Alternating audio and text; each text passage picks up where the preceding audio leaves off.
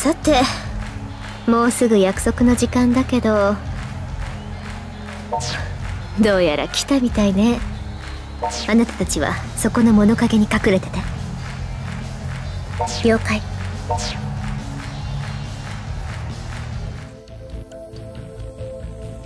おやおや奇遇ですね。春日井 CEO いや春日井さん。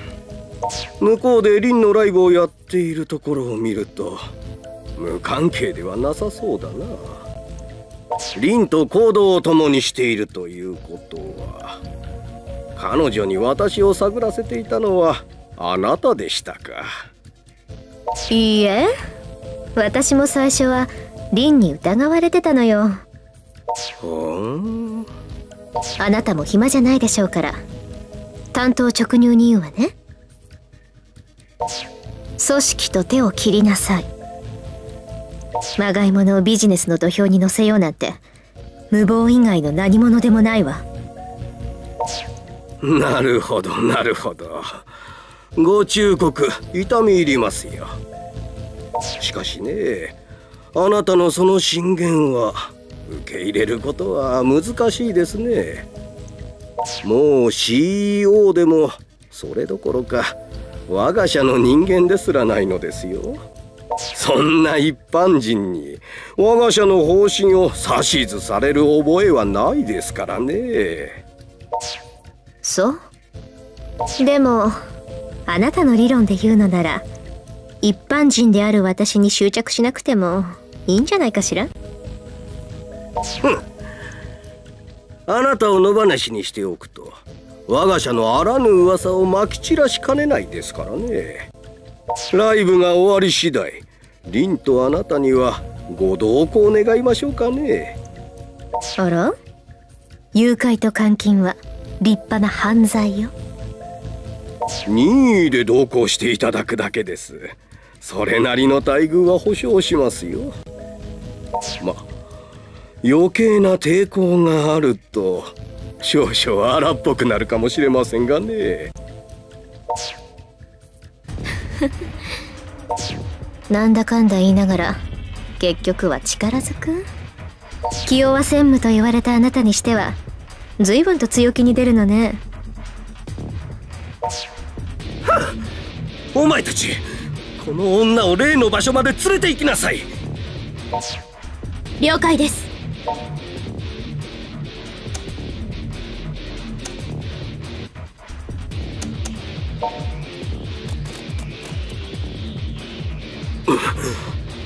やっぱり仲間がいましたか。構いません。まとめて片付けてしまいなさい。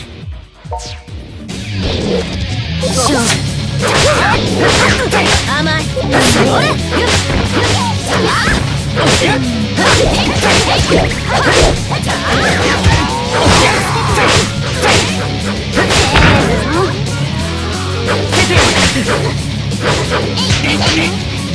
Ha!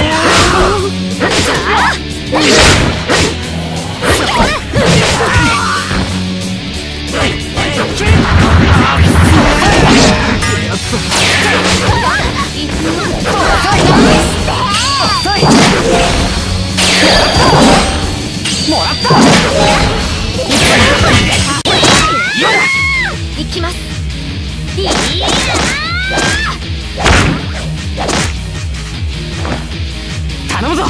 続け。はあ。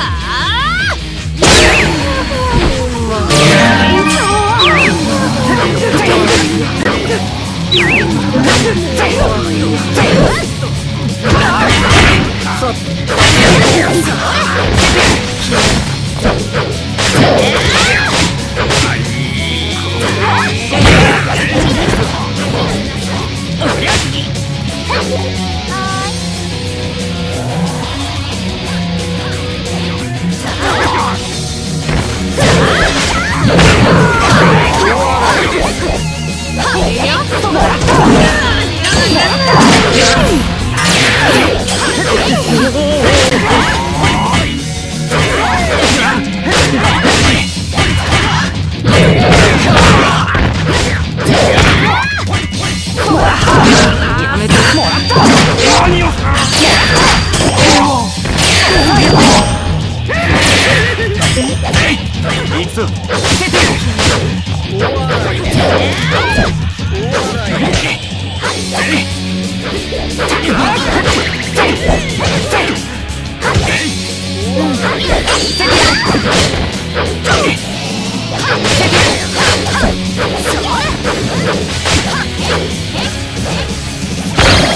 出せないよだ。行きます。いい？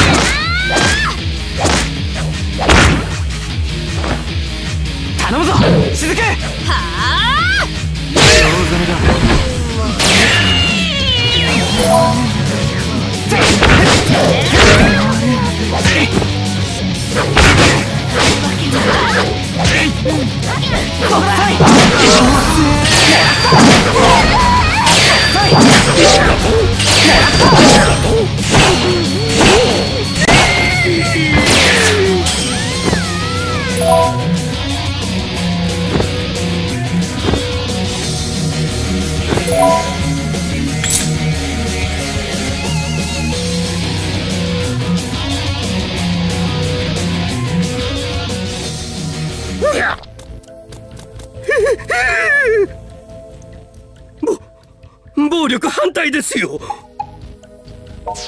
ともと坂口くんみたいな小物にはちょっと荷が重すぎる計画だったわね。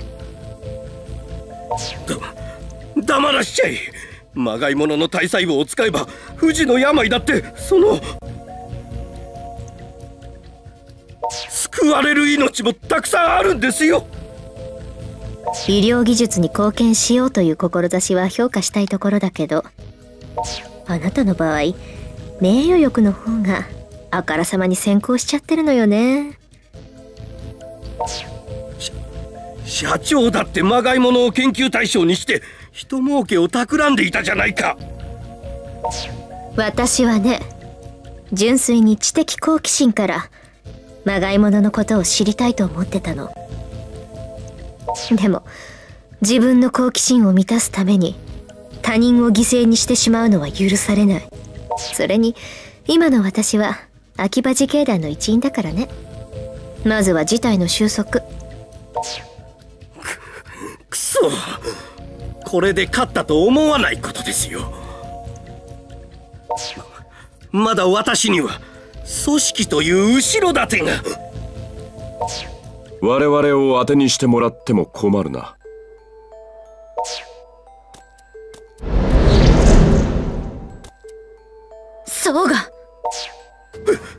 ソーガ様。何とぞご助力を。見苦しい。汚い手を離せ。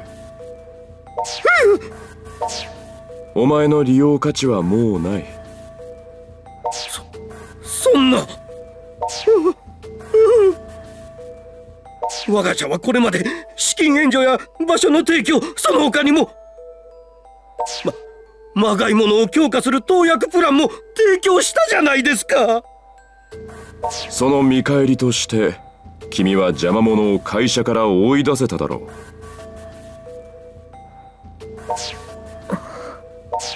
計画成就のための準備は消えるがいい。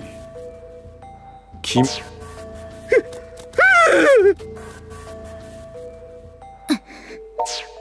あなたは何が目的でこの町を？秋葉にまがい物を放って何をしようとしていたの？まがい物など計画のための下地作りに過ぎない。私の最終目的はこ秋葉をまがいにするためになこれまではまがい物たちを使って生命エネルギーを集めていたがまがいが生まれればこの秋葉原自体が生命エネルギー集積装置となる。そうすれば日本いやいずれは世界中から生命エネルギーを集められる。そうすれば八神は表舞台に立てる。滅びに瀕した一族からそんなことはさせない。力ずくでも止めてみせる。意気込むな雫その様子ではパートナーの異変にも気づいていないようだな。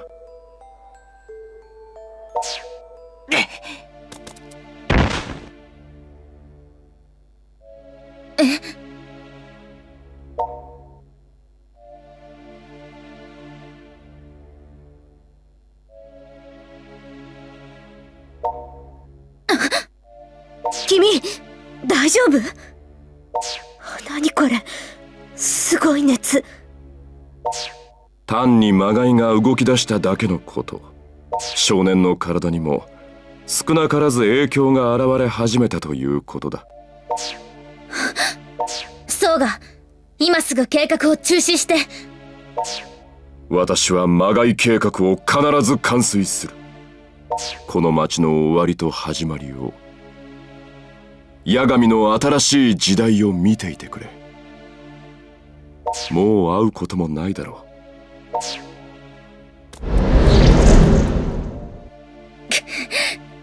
坂口くんに釘を刺すだけのつもりが。エビで鯛を釣っちゃったみたいね。魔界計画。君なんとか歩ける？とりあえずモグラに戻りましょう。しずくちゃんも肩を貸してくれる？ええ。も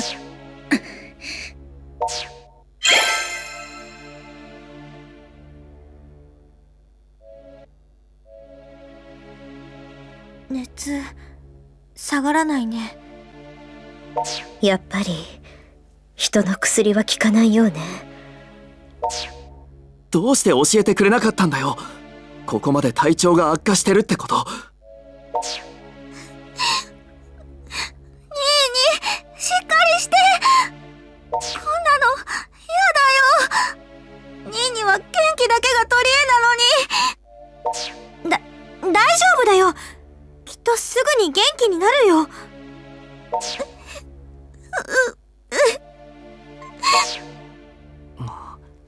お前やっぱり無理してたんだな。わしらもお前に負担をかけすぎちまった。まるでヒーローに頼るみたいにな。中身はごく普通の高校生だってこと。いつの間にか忘れてたよまったくまったくバカですわ。そんなボロボロになるまで下僕のくせに。た大変です。秋葉原駅を中心に次々に人が倒れてるみたいです。ななんだよそりゃ。わかりません。原因不明で駅に近寄った警察の人も倒れてるみたいで。本当だ。ポツリもその話題で埋め尽くされてる。それって魔界計画？ソーガが企んでるっていう物騒な計画か？倒れてる人々はおそらく生命エネルギーを吸われてますわ。にしてもなぜ秋葉原駅なんだ？あの辺に。奴らのアジトが分かれば乗り込んでギッタギタにしてやるのに。アジト？アジトか。もしかしてあそこかも。なんか思い当たる場所でもあんのか？前に事件の起きた場所を調べた時に円の中心が駅から少しずれてる気がしたんだ。それはどこなんだよ？ほんの少し南西ラジオ会館の建設予定地。ラジオ会館がか？けどお前。確かに中を見た人間はいないわよね。調べる価値はあるな。私も電波を感じる。ラジオ会館には私とリンが行くわ。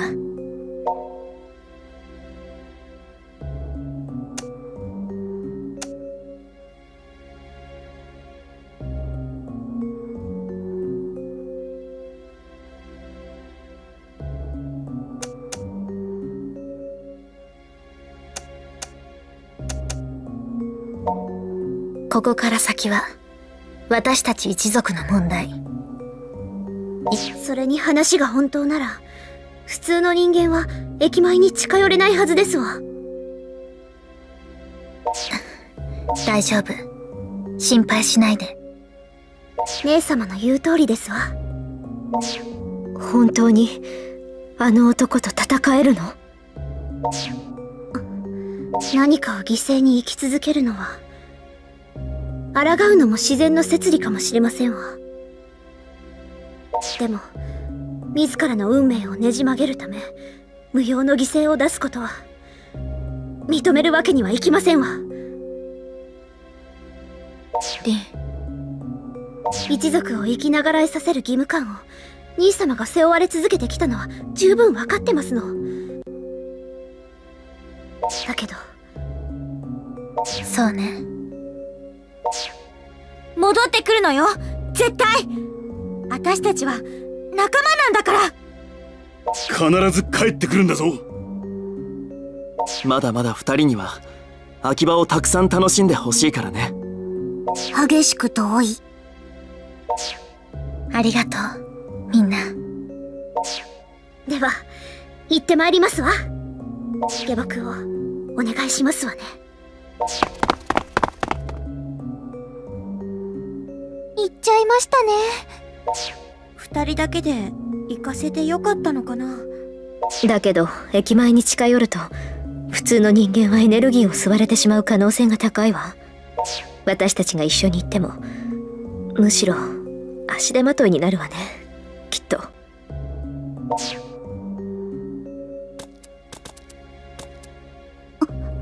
ニーニ寝てなきゃダメ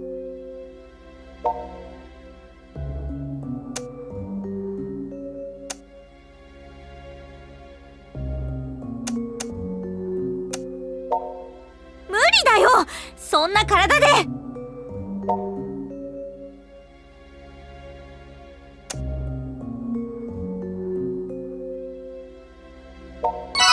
そんな体じゃ行っても足手まといになるだけよ。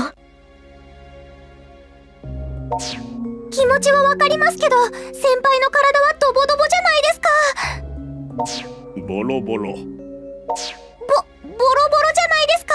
これ以上は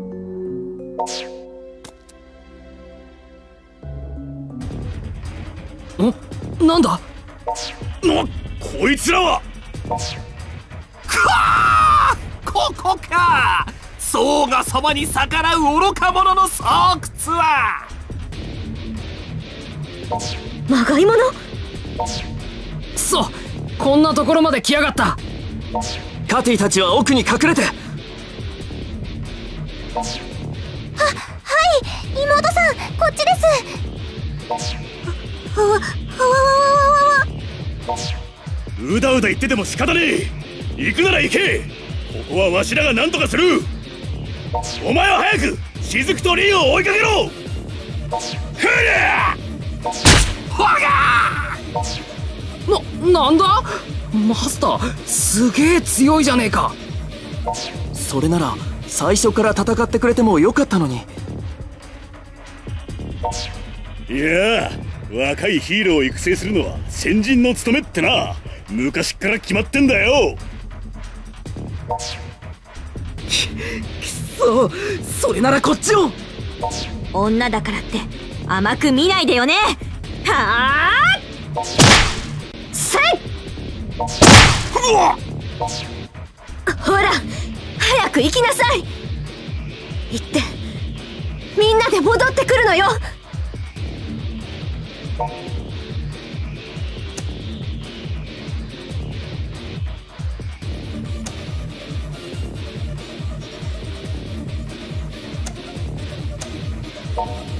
行け。